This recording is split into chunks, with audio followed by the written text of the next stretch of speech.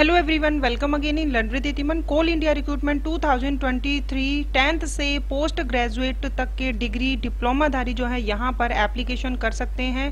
Total post यहाँ पर सत्रह है और यहाँ पर आप देख सकते हैं नोटिफिकेशन की जो कटिंग है। Cut off date eligibility criteria जो है वो 30 सितंबर 2022 तक का और ओपनिंग डेट जो है वो एप्लीकेशन करने की 4 अगस्त से closing date of online application की 2 सितंबर, ठीक है? लास्ट डेट जो है वो 2 सितंबर रहेगी। यहाँ पर फ्रेशर जो है वो एप्लीकेशन नहीं कर सकते। जिनके पास एक्सपीरियंस है, वही यहाँ पर अप्लाई कर पाएँगे। तो देखिए सेवन पेजेस की जो है, ये नोटिफिकेशन है कंप्लीट कोल इंडिया एक महारत्न कंपनी है और यहाँ से जो नोटिफिकेशन डिटेल में जारी हुआ है, दिनांक 1 अगस्त 2023 तो यहाँ पर बहुत सारी पोस्ट के लिए वैकेंसी निकाली गई है। ओपनिंग डेट जो है यहाँ पर 4 अगस्त की क्लोजिंग डेट जो है वो 2 सितंबर की। तो ये चीज़ मैंने आप लोगों को बता दी है। बहुत सारी पोस्ट है, लेकिन हम यहाँ पर जो है, जो मैंने हाईलाइट की है, केवल उन्हीं पोस्ट को हम देखेंगे। एक्सपीरियंस ही जो है यहाँ पर चाहिए हिंदी के लिए अगर आपने एमए हिंदी में जो है मिनिमम सेकंड क्लास और 55 परसेंट मार्क्स के साथ किया है और 10 साल का एक्सपीरियंस है आप लोगों को तो आप यहाँ पर एलिजिबल हैं। लीगल के लिए लो ग्रेजुएट आपने किया है। तीन साल का जो है वो एक्सपीरियंस मांगा गया है। फ्रेशर जो है यहाँ पर एलिजिबल नहीं है। पर्सोनल के लिए यहाँ पर graduate with post graduate diploma या पोस्ट ग्रेजुएट डिग्री जो है सोशल साइंस में अगर आपने किया है तो आप जो है यहाँ पर तीन साल के एक्सपीरियंस के साथ एप्लीकेशन कर सकते हैं। यहाँ पर पब्लिक रिलेशन के लिए जो है डिग्री या फिर डिप्लोमा आपका जो है वो होना चाहिए फुल टाइम कोर्स का जर्नलिज्म या मास कम्युनिकेशन या पब्लिक रिलेशन में ठीक है? तीन साल जो है वो आ, आपका जो है यहाँ पर वर्क एक्सपीरियंस मांगा गया है सेक्रेटेरियल के लिए यहाँ पर टेंथ मांगा गया है। या फिर आपने ग्रेजुएशन आर्ट साइंस कॉमर्स में किसी में भी किया है? अगर आपने तो तीन साल का एक्सपीरियंस अगर आपके पास टेंथ ट्वेल्थ है तो आप पाँच साल का एक्सपीरियंस जो है यहाँ पर रहेगा, ठीक है? इसके अलावा जो है वो एक और पोस्ट है जहाँ पर ग्रेजुएट इन एनी डिसिप्लिन किसी में भी आर्ट्स कॉमर्स साइंस में जो है वो आपने किया हो तो आप यहाँ पर एलिजिबल हो। यहाँ पर जो है वो कोई भी एक्सपीरियंस जो है वो आपसे नहीं मांगा गया है।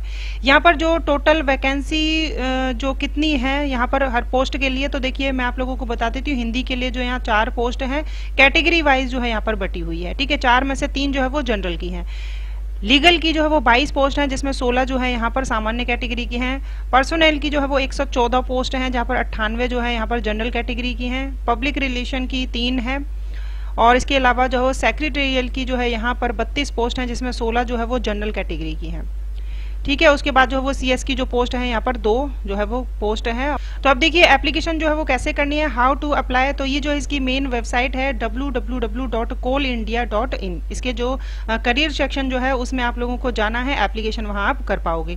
सबसे पहले आप लोगों को डिटेल इंस्ट्रक्शन जो है वो बिल्कुल फॉर्म भरेंगे, उससे पहले आप लोगों को पढ़ लेनी है, ठीक है? उसके बाद ही जो है वो एप्लीकेशन करेंगे, क्योंकि यहाँ पर जो भी मेन मेन पॉइंट हैं, वो मैं आप लोगों को बता देती हूँ। बाकी फॉर्म भरने से पहले आप लोगों को पढ़ना ही चाहिए। यहाँ पर आप लोगों का सीबीटी मोड जो है, वो एग्ज़ाम होगा। 200 मार्क्स का होगा। दो पेपर होंगे अलग अलग 100 मार्क्स का। एक पेपर जो है, वो होगा। पेपर वन जो है, जिसमें जनरल अवेयरेंस जनरल एप्टीट्यूड पूछे जाएगा। पेपर सेकंड में जिस सब्जेक्ट के लिए आप लोग फॉर्म भर रहे हैं, उस सब्जेक्ट से रिलेटेड जो है, वो नॉलेज पूछी जाएगी। और तीन घंटे का जो है, ये एग्ज़ाम आपका होने वाला है। यहाँ पर जनरल कैटेगरी के लिए जो 45 परसेंट मार्क्स जो है वो ईच पेपर हर पेपर में लाना ज़रूरी है।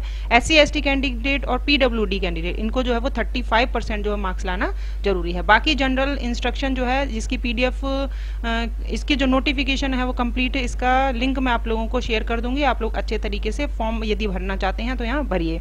जिस तरीके से आप जानते हैं, केंद्रीय विद्यालय में डिपार्टमेंटल वैकेंसीज आती हैं, ठीक है? तो उसी तरीके से ये जो है वो वैकेंसी है। यहाँ पर जो फ्रेशर कैंडिडेट है, वो एप्लीकेशन नहीं कर सकते हैं। लेकिन मैं आप लोगों को जो है वो बता दूँ कि अभी जो है 2023 और 2024 इसमें जो है कोल इंडिया की तरफ़ से जो है वो बहुत बड़ी संख्या में वैकेंसी आने वाली है फ्रेशर कैंडिडेट के लिए। ठीक है? तो आप लोग रेडी रहिएगा, जो भी यहाँ पर इंटरेस्टेड हैं, क्योंकि ये जो है वो कोई छोटी कंपनी नहीं है। यहाँ पर जो है वो सैलरी काफ़ी अच्छी रहती है। यहाँ का एक्सपीरियंस काफ़ी अच्छा रहता है। ठीक है? हर तरीके से जो है ये आप लोगों के लिए जो है अच्छी रहेगी। तो फ्रेशर जो है वो बिल्कुल यहाँ पर तैयार रहें। 2023-24 में बहुत बड़ी संख्या में यहाँ पर वैकेंसी आने वाली है क्योंकि काफ़ी जो है यहाँ पर जो सीट हैं वो, पद जो हैं वो खाली हैं। ठीक है? तो जैसे ही वैकेंसी यहाँ से आती है, नोटिफिकेशन आता है, मैं आप लोगों को बताऊँगी। यहाँ पर एक्सपीरियंस स्टूडेंट जो भी एलिजिबल हैं, यदि वो इंटरेस्टेड हैं तो एप्लीकेशन कर सकते हैं। मिलेंगे नेक्स्ट वीडियो में। Thank you.